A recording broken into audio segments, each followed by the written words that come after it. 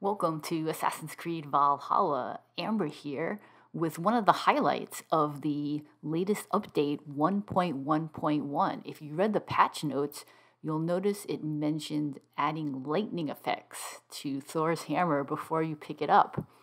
And I went back to one of my saves before I picked up Thor's hammer to replay that and see what has changed. And here it is. And if you want to see the full patch notes, I did a separate video on that I'll link it in the description.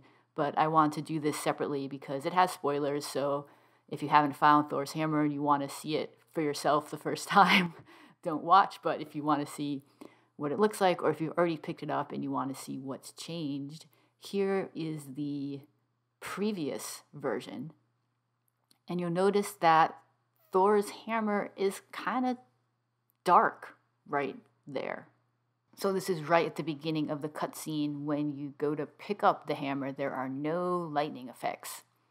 Now let's see it with the latest update 1.1.1 and I'm just going to let this play through. You can see the lightning on the hammer just before Eivor takes it out of the rock.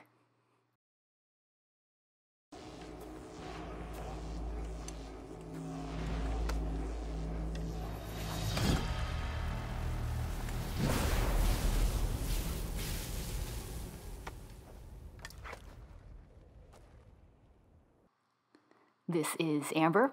Thanks for watching and subscribe to my channel for more videos on Assassin's Creed Valhalla.